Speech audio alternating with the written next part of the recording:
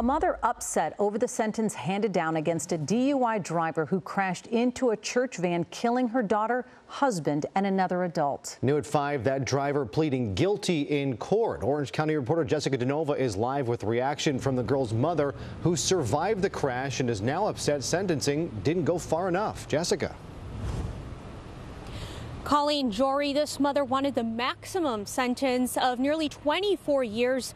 Instead, the defendant got less than half that with nearly a year and a half credit for time served. Que 11 años no es justo. No es justo, le dije, porque mi hija era llena de vida. 11 years is not fair because my daughter was full of life. That's this grieving mother's message to the Orange County Superior Court judge who sentenced Mario Armando Paz to 11 years behind bars.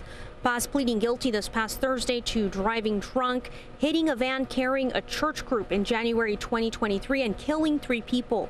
Paz was 24 years old at the time.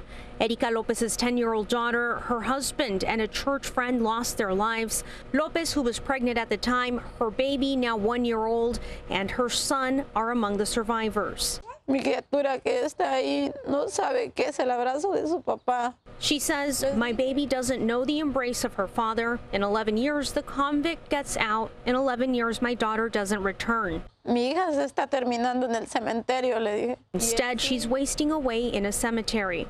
In a statement, the OC District Attorney tells Eyewitness News in part the judge, quote, failed to send a strong message to drunk drivers that actions have consequences, and when you plow into multiple vehicles and kill innocent people, including a child, while driving drunk, you will be punished to the fullest extent of the law, which is 23 years and 8 months in this case, end quote.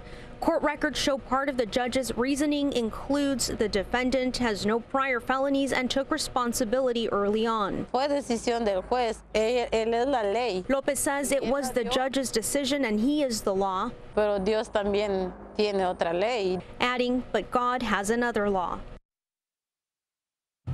Lopez tells me she finds the strength to move forward in her son and baby girl. Anyone wanting to help this family with the expenses brought on by this tragedy can head to our website. That's abc7.com. We have a link there to their GoFundMe page. Hello, I'm Marc Brown. Get more great ABC7 content by clicking the subscribe button for our YouTube channel and download the ABC7 Los Angeles streaming app on Fire TV, Android TV, Apple TV, and Roku to watch on your TV.